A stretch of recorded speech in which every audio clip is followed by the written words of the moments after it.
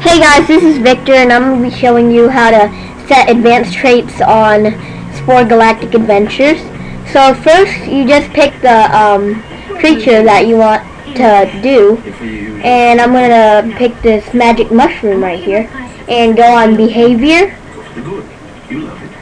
and now go on um, these little things, the traits up here and click on one of them and at the same time click control. And uh, there's all these little things up here that you can make them do. Um you can make them shoot but that's only if they have a gun or if they're um epic. Um you can make them socialize and stuff like that.